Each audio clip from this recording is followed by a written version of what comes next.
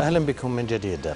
طلب القاضي وعضو مجلس الشورى الشيخ عيسى الغيث مؤخرا من خلال صحيفة الشرق بوجود نساء في القطاعات العسكرية كالدفاع المدني ومسعفات طبيبات ميدانيات. وأكد الغيث أنه لا يجوز شرعا ولا نظاما منع المسعفين القيام بواجباتهم داخل المواقع النسائية لإسعاف الحالات النسائية وإنقاذها لأنها ضرورة. المزيد من التفاصيل في التقرير التالي. نتابع.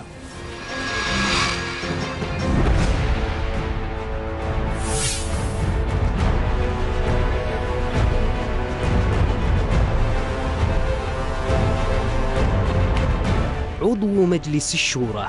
الشيخ الدكتور عيسى الغيث عاود الظهور على المشهد الإعلامي مجددا. وهو الذي اقترح سابقا تطبيق نظام قيادة المرأة للسيارة على نطاق ضيق لدراسته قبل اعتماده. لكن هذه المرة في تصريح أدلاه لصحيفة الشرق حول منع المسعفين من دخول المواقع النسائية للقيام بواجباتهم الإسعافية والذي أوضح عدم جوازه. لكن ما ضج به الرأي العام هو مطالبة الدكتور الغيث بتوظيف عسكريات في الدفاع المدني لإنقاذ النساء أسوة بالسجون والجوازات. وأنه ينبغي وجود مسعفات للعمل في الأماكن النسائية المغلقة. مطالبة الغيث وإن كانت أثارت جدلا واسعا في المجتمع السعودي لخصوصيته إلا أن هذه الخطوة ليست بالجديدة. فدول خليجية مجاورة كالإمارات والتي أقرت مؤخرا نظام التجنيد الاختياري للفتيات. تتيح للنساء ومنذ زمن المشاركة في المهام العسكرية كالشرطة النسائية. وتأتي مطالبة الغيث بعد الجدل الذي أثير حول وفاة طالبة الماجستير آمنة والتي توفيت في داخل جامعة الملك سعود حيث أفاد ذووها أن منع دخول الإسعاف إلى الحرم الجامعي أدى إلى وفاتها.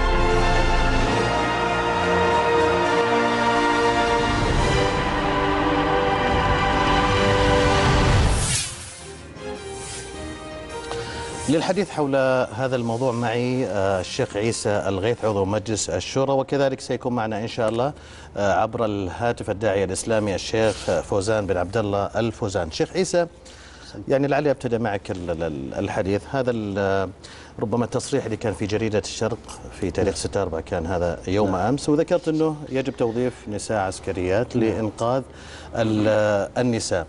يعني في مجتمع يرفض وجود المرأة أو, عمل المرأة في بعض الأماكن نجد أنك تطالب بهذا الشيء. ألا ترى أنه فيه يعني ربما مطالبة بما هو فوق العرف؟ نعم بسم الله الرحمن الرحيم. ابتداء أشكركم وأشكر هذا البرنامج وفي الحقيقة أنا أتحدث بهذا الكلام منطلقا من ثوابتنا الشرعية. الآن حينما يأتي رجل الإسعاف فيقولون لا يدخل رجل الإسعاف إلى داخل قسم النساء وبالتالي تموت آمنة وغيرها. حينما يأتي الدفاع المدني إلى مدرسة فيها حريق الأهالي يمنعون دخوله باعتبار أنه رجل. طيب ما تبون الرجال يدخلون إلى هذه الأماكن مع أنه جائز شرعا لأنها ضرورة تبيح حينئذ المحرم وأيضا بنفس الوقت إذا طولب بأن يكون نساء للنساء امتدادا لدعوات التي تطالب بعدم الاختلاط مطلقا دون في الحقيقة تقييد شيء معين فأيضا يتناقضون بهذا بهذا الحل. إذا حينما نأتي مثلا للإسعاف عندنا قضية آمنة وغيرها الدفاع المدني قضية مدرسة مكة وغيرها الجوازات الآن سيكون في نساء أيضا في الجوازات وفي السابق أيضا في, في أيضا في التفتيش. الأحوال المدنية قسم للنساء بل يطالبوا بأقسام نسائية في المحاكم وغيرها. إذا طلبي هو امتداد لتلك الطلبات من أجل أن تحافظ المرأة على حشمتها وأن يكون المسؤول عنها امرأة نفسها من نفس جنسها. الشيء الثاني يا أخي الكريم ألا يطالبون جميع إخوتنا من المحافظين وكلنا محافظين وأنت وأنا والجميع ألا يطالبوا بمستشفيات خاصة بالنساء؟ طيب نطالب أن تكون دفاع مدني خاصة بالنساء. إذا جاء ينقذ وحدة تريد أن تغرق في المسبح ما يدخل رجال حينئذ ينقذها أو في داخل غرف النوم أو نحو ذلك. على هذا الأساس إذا قضية ضوابط شرعية تحقق مثل هذا الأمر. هناك أخي الكريم شيء من التناقض والاضطراب. يطالبون بالشيء ثم يطالبون بنقيضه. يطالبون بأن تكون المرأة للمرأة. ثم إذا طلبت حينئذ المرأة للمرأة قالوا إنك تريد ماذا؟ تعرف ما هي الإشكالية؟ طبعا أنت تتكلم عن وجهة نظر اللي خالفوا هذا الرأي. بالفعل ولعل المتصل بعد قليل هذا ما عرفت اسمه إلا قبل دقيقتين تقريبا. هم الآن بهذا النحو ماذا يقولون؟ لا أتحدث باسمهم ولكن أنقل لهم بكل أمانة علمية. طيب الآن وجود المرأة هل مشكلتكم وجود المرأة مع الزملاء الموظفين معها؟ أو مشكلتكم وجود المرأة في ميدان العمل. حين في ميدان العمل نعم. أو حين تختلط حينئذ بالآخرين أي بالذين الذين تقدم لهم الخدمة. بمعنى المرأة المسعفة أنت حينما تنظر إلى دورها تجاه المرأة المريضة شيء إيجابي. حينما تراها مقابل زملائها في العمل يخضع ضوابط. طيب تقول لا والله لا نريدها مسعفة. إذا سوف تقع في مشكلة أكبر وهو أن هذا الرجل سوف يدخل إلى أماكن نسائية على هذا النحو. كل هذه الأمور بمنطلقات شرعية. سأعطيك مثال آخر. وأيضا ممكن أيضا كل هذه الأمور ضمن هذه الدلائل. كتابات العدل. المرأة الآن اليوم أعلن أعلن في في إحدى الصحف السعودية مع وزارة الداخلية وزارة العدل عن موضوع البصمة إن شاء الله خلال الأسابيع المقبلة. نعم. وسبق تحدثت عنها عن هذا الموضوع قبل فترة والحمد لله لم يتأخر هذا الأمر. بناء على ذلك الآن ماذا نقول عن موضوع المرأة؟ لو وجد امرأة كاتبة عدل مجرد فقط توثيق للوكالة فيما يمنع في حين أنك الآن لو تقول طيب نحن ما لسنا بحاجة مستشفيات نسائية قالوا والعياذ بالله إنك تدعو إلى كذا وكذا. طيب ما تدعون حينئذ تدعون إلى الطبيبات ال- حينئذ النساء. للنساء إذا طالبوا بكاتبات عدل. للنساء طالبوا بمحاميات. للنساء طالبوا بكذا لكذا. لابد أن يكون عندنا منهج ثابت وقواعد ثابتة. لكن كل شوي تنقلب لي على جهة بس- معينة ما تصلح. طيب أنا بسال يعني تتوقع أنت يعني ال- الاستغراب من هذه المطالبة؟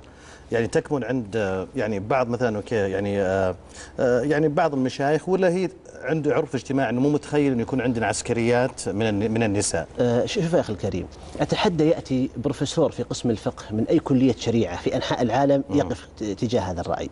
هم إخوة نحسن بهم الظن عندهم غيرة. شفت ترى دافعهم طيب. ولكن أحيانا تكون العادات أو الخوف من المستقبل أو من سوء التنفيذ يأخذهم حينئذ بسوء الظن بالآخرين على هذا النحو. في مجموعة من الأمثلة على هذا. سأعطيك مثال آخر. سوء الظن بإيش؟ يعني سوء الظن بالمنفذ بمثل- بأنه حينئذ فوبيا التغريب وأنه ينوي كذا وكذا. في هم دائما عندهم مزايدة. يعني آه، أنا في الصح ناس في ناس يرونك تغريبي ولا لا؟ والله يمكن يسمون أي شيء. وفي أحد ال- نعم. المشايخ سامحه الله يعني قال مثل هذا الأمر لكن على كل حال يا أخي الكريم من دخل أنا شوف يا أخي الكريم أذكر في كلية الشريعة قبل أكثر من عشرين سنة كان أحد مشايخنا وش يقول؟ يقول قال الشريعة صالح لكل زمان ومكان. هذا معروف. ولكن يقول مرة متهكما حين قلت لماذا لم تتغير بعض حتى المقررات؟ قال لأننا نحن في الشريعة وهي صالحة ولكن أحيانا لابد أن تكون جامدة. يعني بعض الكلام يعني الثوابت قالها ما يمكن تتغير. على سبيل المثال في مجموعة من الأمثلة لو أخذت يعني معك في في الحديث على هذا الأمر سوف نقع في مجموعة من التناقضات حول هذا الموضوع. كل ما نريده أن نطبق الشريعة الإسلامية وفقا لهذه الضوابط. سأعطيك مثال أخير واسمح لي فيه. يا أخي الكريم أنا دائما أمر أحيانا على الأسواق للتبضع لل- مثلا للأولاد والأهل ومع الأهل أو أحيانا لوحدي. يا أخي الكريم والله يحز في نفسي. أشوف المرأة السعودية بنات جالسة في الشارع على ال- ال- اللي هي ما يسمى بالكاشيرات أو حتى بسطات في الشارع في الرصيف. سبحان الله. الحين بناتنا يبيعن في الرصيف ومعهم عمال. ويتناولون بالناس وهي من جميع الجهات الناس يرونها حلال لأن تطبعنا عليه منذ أن ولدنا. طيب يعني وأن تدخل داخل المحل وأن تبيع يصير حرام. هنا الإشكالية. يعني تعزو الموضوع إلى موضوع التطبع اخذنا تطبع بعض وعادات وتقاليد. هي, أعراف لكن أخذناها كمسلمات ربما بالفعل. يعني من الناحية الدينية، طيب خليني أخذ يعني وجهة نظر الشيخ فوزان، الشيخ فوزان آه، يمكن تابعت معنا آه، مطالبة الشيخ آه، عيسى الغيث بوجود يعني نساء عسكريات يسعفن ال- يعني النساء سواء في الدفاع المدني أو غيره، أبي آه، تعليقك على هالمطالبة. السلام عليكم. عليكم السلام ورحمة الله. حياك الله أخوي. يا أهلا وسهلا. أقول سلمك الله آه، بالنظر تحليل المسألة تحليلا شرعيا. مسألة مشاركة المرأة في الدفاع المدني. اولا يعني هو الدكتور نفسه حررها بنفسه. قال أن ما تقتضيه المصلحة من اعمال إنقاذ من الرجال للنساء جائز شرعا. هذا بإجماع المسلمين. فالآن الخوض في مثل هذه المناقشة ومثل هذا الجدل أظن اننا أننا لسنا محتاجين له. لأن لأن لأن الحاجة قائمة بوجود الرجل والأصل أنه لا يمنع الرجال من دخول النساء ما دام مهمته مثل هذه المهمات. فلا تست... فلا نستجلب ضرورات وحاجات لزج النساء بأعمال لا تليق بهن. الثانية كثيرا من أعمال الدفاع المدني لا تتناسب مع طبيعة المرأة ففيها من الجهد والمشقة والعناء بل وحتى الألبسة يقيدونها بألبسة معينة. ما نستطيع أن نكرم ونرفع قدر بناتنا بأن يدخلن هذه المعنى وهذا العناء وهذا الجهد. ثالثا هذه الأعمال الميدانية تستجلب مشاركة المرأة الرجل في ميدان العمل وهذا محرم بنص فتوى اللجنة الدائمة تاريخ 28 6 وأرجو أرجو أرجو من الدكتور عيسى الغيث أو غيره. ألا يفتئت على لجنة الإفتاء التي مخولة من قبل ولي الأمر. والمفترض أنه يدعن لأمر الله وأمر رسوله فنحن وإياه اختلفنا في هذا الأمر. فهناك مرجعية وإلا جميع الأحزاب الآن كلها الأحزاب الأحزاب التي تدعي هذا كلها عندها عندها جهة فتوى. فإذا صار كل جهة تبي ترجع لمفتيها ومرجعها فبهذا الشكل سنضيع طيب رابعا طيب شيخ فوزان هو نفس الدكتور عيسى علق قال منذ سنوات والمصلحون ينادون مستشفيات نسائية خاصة، طيب يا دكتور عيسى ليش ما طلبت معهم؟ لماذا ما ضميت صوتك معهم؟ بكادر النساء وخاصة فيما يتعلق بالنساء والولادة. ما شاركت معهم ولا ساهمت في ذلك ولا رأينا لك مشاركة في ذلك. طيب شيخ بينما هنا في العسكرية في الدفاع المدني لك مشاركة في طيب ذلك. طيب وين وين وين؟ طيب شيخ فوزان أنا بس أنا بسألك سؤال محدد شيخ فوزان يعني وش المانع من وجود نساء يعني آه، عسكرية سواء في الدفاع المدني أو غيره أبغى تحدد لي هل الإشكالية أنك حكمت أنه سيكون هناك اختلاط بالرجال وأنه سيكون العمل بها بالصورة اللي أنت تتخيلها وباللبس والزي وغيرها؟ أنا الحين ذكرت أربع موانع أنا ذكرت أربع موانع يعني تعيد اريد تريد أعيدها مرة ثانية. هذه أربع موانع وعندي بعد موانع طيب أخرى. طيب عطنا عطنا الموانع الأخرى طيب. طيب. لو لو قيل لو قيل اجتهد الدكتور عيسى أو غيره ثاني وثالث ولا خلاص يجتهدون هم وشأنه لو قلنا ذلك وقدر الحال وقلنا أن هذه ضرورة وأن حاجة الحقيقة لا يجوز لأحد كان من كان أن يفتئت على الجهات الشرعية هنا. خلاص إذا كان هذا فترفع حاجتها وضروراتها للجهات الشرعية والجهات الشرعية تمت في هذا الأمر وهي المخولة في هذا الأمر. الأمر الخامس الأمر الخامس الأمر ينظر إلى مآلاته ومقاصده. مآلاته ومقاصده. اولا إحنا الآن من بداية الأمر، الأمر يعني الدفاع المدني إلى إلى الآن ما طبق النظام هذا إلى الآن، لكن مجرد مشاهد وتجارب. ومع ذلك الآن ودكتور عيسى غيث لا ينكر على هذا الشيء ما شفناه ينكر ولا عمره أنكر على القضية. الآن نشاهد رجال الدفاع المدني تصوير مع النساء بابتسامات وضحكات والسلام ويصورون مع بعض. طيب هل هل هذا مقصد صحيح؟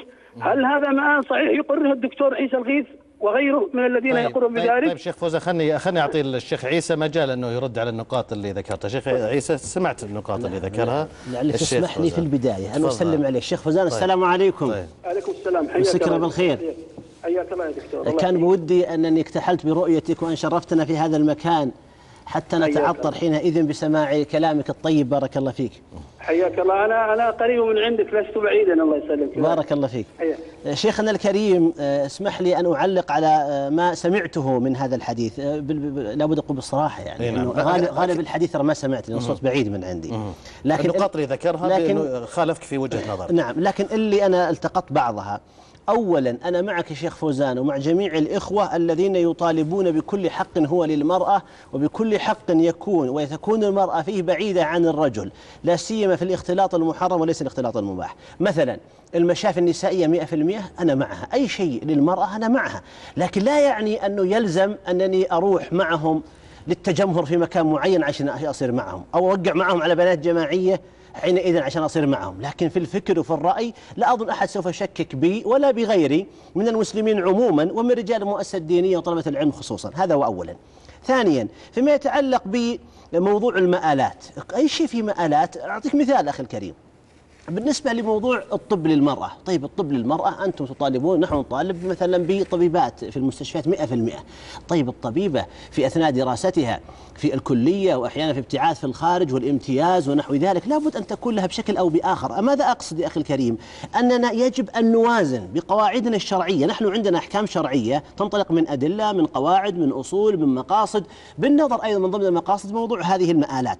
لكن حينما يكون لدينا شيئا من الفوبيا والمبالغة أو سوء الظن بالآخر من إخوتنا المسؤولين بأنهم سوف يسيئون أو أن نواياهم سيئة. هذا في الحقيقة في تزكية للنفس من ناحية وفي سوء ظن بإخوتنا من ناحية أخرى. هي عبارة عن فكرة. أخي أخي الفوزان يعني اسمح لي الشيخ فوزان قبل كم سنة سأعطيك مثال وأذكرك وأذكر الإخوة المحتسبين بهذا الموضوع.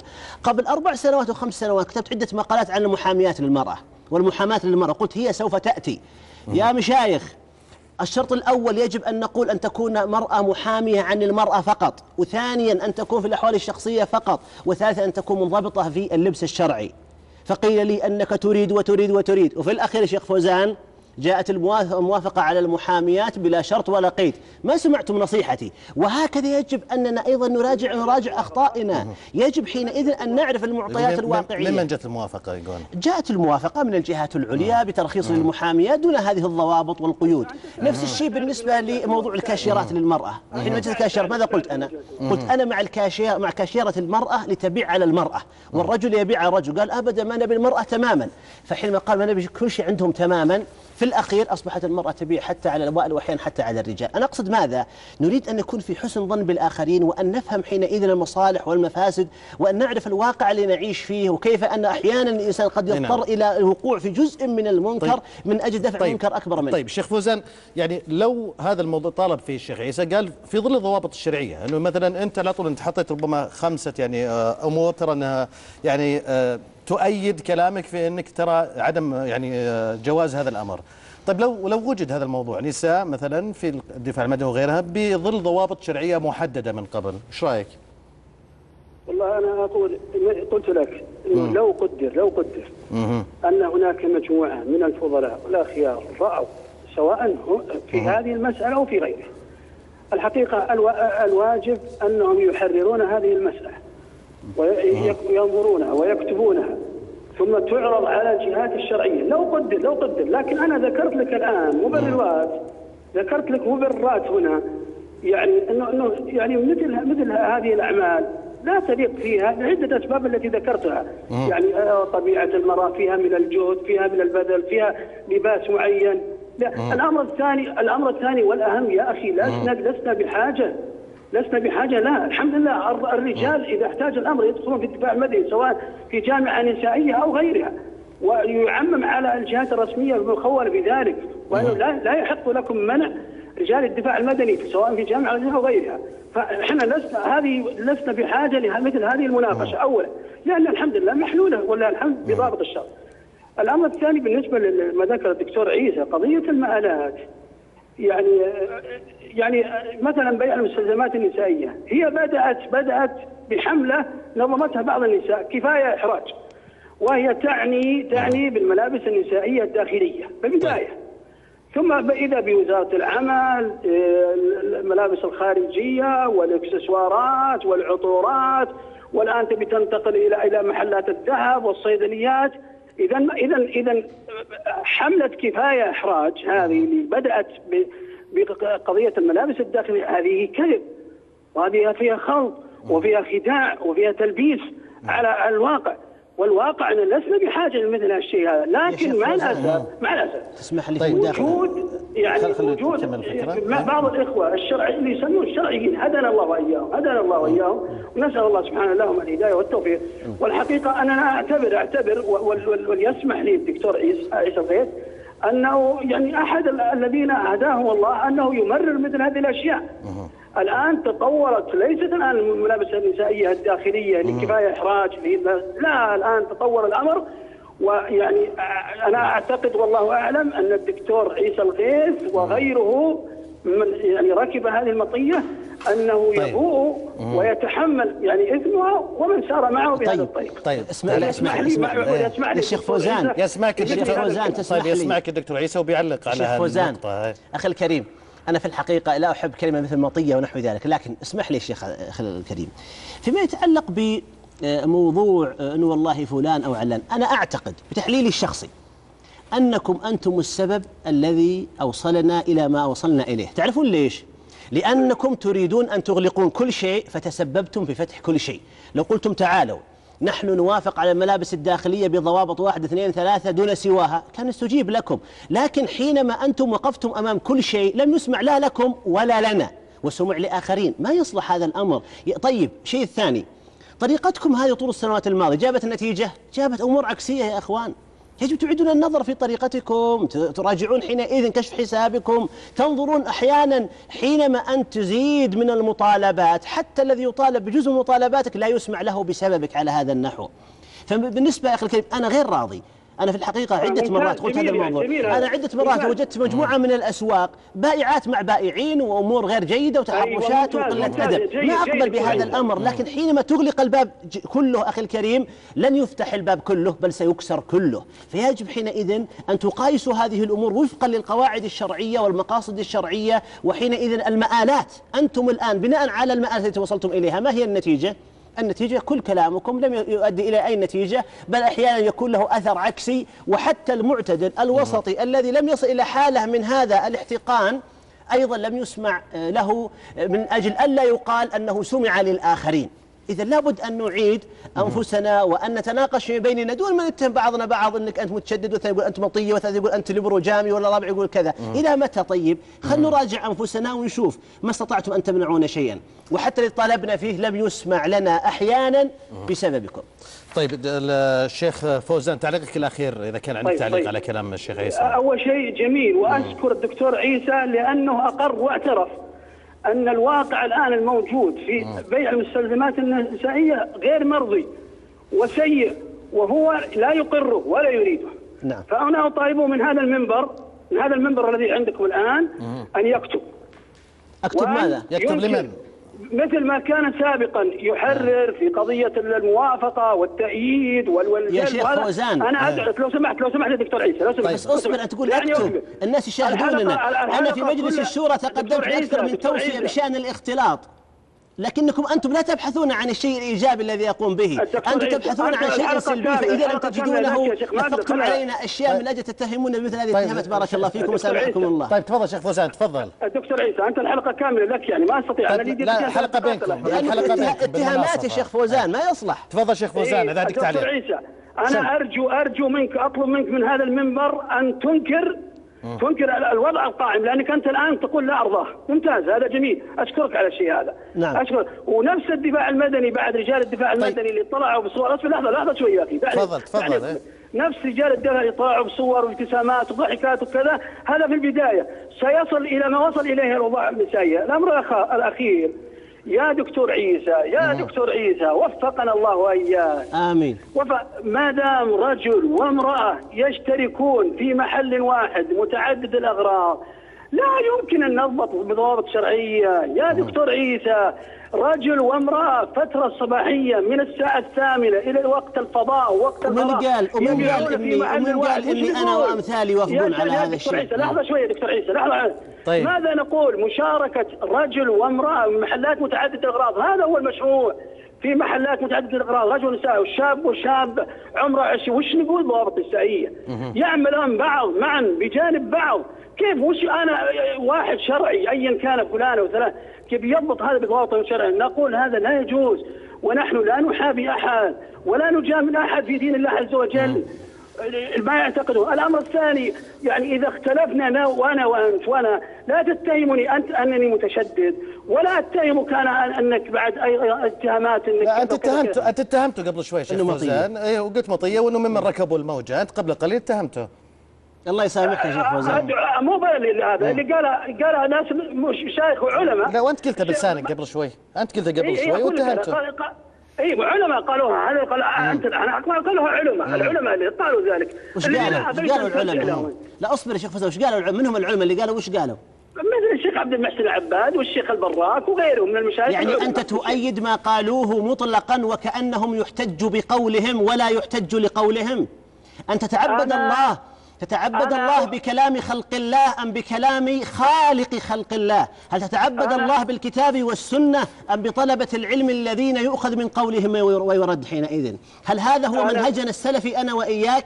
هل هذا هو منهج أهل السنة والجماعة؟ أن تحتج بقول فلان وفلان وأنا قد رددت عليهما ردا علميا مؤدبا. كل ما نريده علم عدل أدب. نريد الذي درسه ودرسناه ودرسته أنت في المدارس والجامعات أن نراه في سلوكياتنا في أخلاقياتنا. أصبحنا يا أخي الكريم أمام الشاشات أمام العالم يريدون أن يروا السعوديين الذين لا يشكلون 2% من المسلمين أن يعطوا جانب إيجابي حتى في خلافاتهم دون اتهامات المتبادل. إذا كان المشايخ يلقون مثل هذه الكلمة على الآخرين مطية ونحو ذلك فماذا سيكون حال حينئذ الطلبة والمريدين؟ دكتور عيسى سم بمذكرة الاختلاط قلت كلام أعظم من ذلك أنت.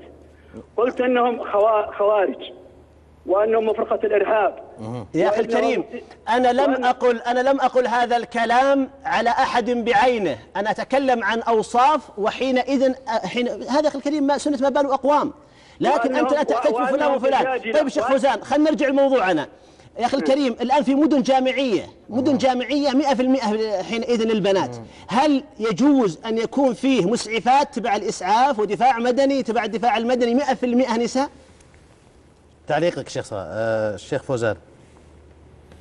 قلت قلت لك أنا قضية أن النساء يعملن مع نساء لا إشكال في ذلك. كويس. النساء يعملن هذا الذي أنا أطالب به ما طلبت أن تعمل حينئذ امرأة في الدفاع المدني مع رجل تركبها وياهم جنب بعض ما طلبت أنا بهذا. أنا أقول دفاع مدني يوظفون النساء في الجامعات النسائية ويوظفون عيسى، مسعفات في يا الجامعات. هذا كل اللي قلته يا أخي الكريم. جيب كلام قلت غير يا ذلك دكتور عيسى سم. إذا كان إذا كان هناك حالة حالة في بيت أو في منزل أو في متجر أو في مصنع أو في كذا يعني يقول هذا خلاص لابد انه فريق طيب له ذكر. آه، شيخ فوزان. والفريق سياتي رجال ونساء يا دكتور عيسى. طيب لو- معلش ما يصلح التلبيس كذا يا دكتور عيسى. لا هو قال لو في جامعة جامعة مثلا جامعة كلها جامعة نور على سبيل المثال وفيها مسعفات يعني من النساء ما ال- ما ال- ما الإشكال في ذلك يعني؟ هذا هذا وموظفات إطفاء الحرائق ما المانع من ذلك؟